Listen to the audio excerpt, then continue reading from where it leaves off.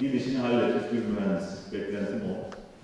İkincisi de okulu bitirdikten sonra biraz bu işin tozunu yutmanız gereken altyapı. Onun üzerine inşa edeceğiniz bina çok önemli. Bir de kendinize bir yol tercih edin istiyorum ben. Şantiyeci mi olacaksınız? Bir süreci yaşamanız gerekiyor. Hemen okulu bitirir bitirmez rahat işler seçmeyin. Bir süre sonra bu sizin için çok zor hale gelir. Bir şey öğrenemezsiniz. Bizim de ismini aldığımız bir önemli medeniyetin başkenti. Burası yaklaşık 200 yıl Selçuklulara başkentlik yapmış bir şehir. O hepinizin kitaplarda okuduğumuz Sultan Alparslan'ın Malazgirt'te başlayan sürecinde 1096'dan 1308'e kadar başkentlik yapmış bir şehirde yaşıyorsunuz. Bu şehirde de Selçukluların çok önemli izleri var. En önemlisi Hazreti Mevlana, Hazreti Pir burada bulunuyor. Selçuklu Sultan Sultan Alaaddin'in davetiyle Konya'ya geliyor. Çünkü o dönemde bu coğrafyadaki en gelişmiş, en güvenli ve ilme ve ilim adamına en çok değer verilen yer Selçuklu başkenti Konya. Onun için bu Belh'ten başlayan yolculukta Konya'ya kadar gelen bir süre.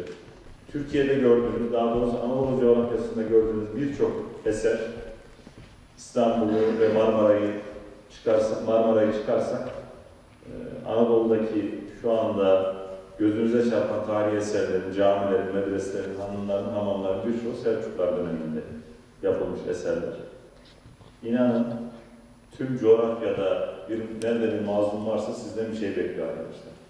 Bu imkanlar, bu hak, bu şans elimize gelmişken bunu mutlaka değerlendirmemiz gerekiyor. Sadece mesleki olarak kendinizi yetiştirmeniz bunun için yetmez. Onun için dünya ile ilgili okumalar yapmak, dünyayı şöyle bir görmek ve geleceğin Türkiye'sinde de hazır olmak gerekiyor.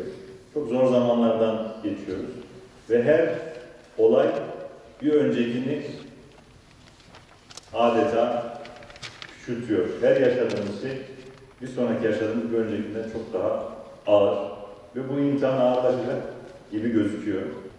Onun için birbirimize sarılmayı, birbirimizle konuşmayı, medeni bir şekilde tartışmayı ve birbirimizin farklılıklarını öne çıkarmamayı da mutlaka öğrenmemiz gerekiyor.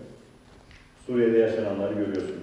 Irak'ta son dönemde yaşananları görüyorsunuz. İşte Kudüs meselesi, Katar meselesi, Birleşik Arap Emirlikleri, Yemen, Suudi Arabistan hepsini harmanlayın.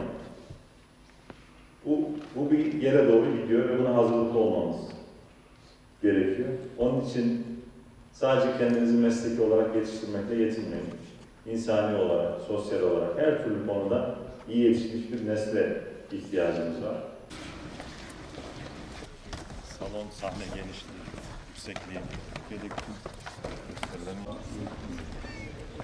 asansörleri, yani